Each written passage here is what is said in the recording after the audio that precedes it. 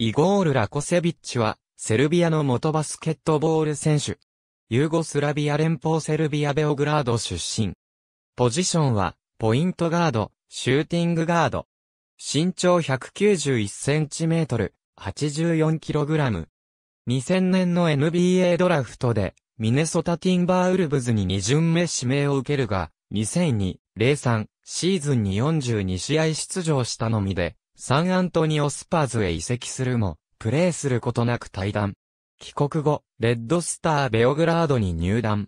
アドリアテックリーグ MVP に選ばれる。その後スペインに渡り、バレンシア、レアルマドリードに所属した。